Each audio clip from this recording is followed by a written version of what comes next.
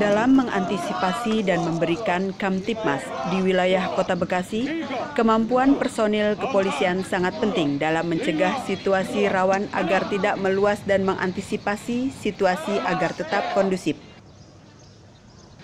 Polres Metro Bekasi Kota terus berupaya menjaga stamina anggotanya salah satu unit Sabara yang dipimpin oleh AKBP Robert Simanjuntak melaksanakan beberapa latihan dasar di halaman Polres Metro Bekasi Kota. Dari Bekasi, Jawa Barat, tim liputan Tribrata TV. Salam Tribrata.